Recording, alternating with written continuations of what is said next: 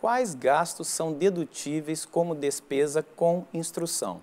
No imposto de renda, podem ser deduzidos a título de despesas com instrução os pagamentos a estabelecimentos de educação infantil, isto é, creches e pré-escolas, ensino fundamental e médio, educação superior, que inclui os cursos de graduação e pós-graduação, mestrado, doutorado e especialização lato sensu, e a educação profissional, compreendendo o ensino técnico e o tecnológico. Não são dedutíveis os pagamentos do crédito educativo, FIES, os pagamentos de uniformes, material escolar, livros, escolas de idiomas, aulas particulares, aulas de música, de artes, de esportes, associação de pais e mestres e preparatórios para vestibulares ou concursos.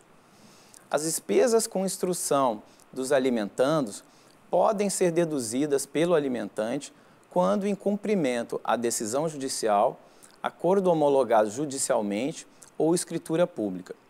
As despesas com instrução estão sujeitas a um limite individual e anual de R$ 3.561,50 na declaração de 2016. É bom lembrar que o valor que ultrapassar o limite individual não pode ser aproveitado nem mesmo para compensar gastos de valor inferior, efetuados com o próprio contribuinte ou com outro dependente ou alimentando. Para mais informações, acesse o endereço eletrônico da Receita Federal em idg.receita.fazenda.gov.br.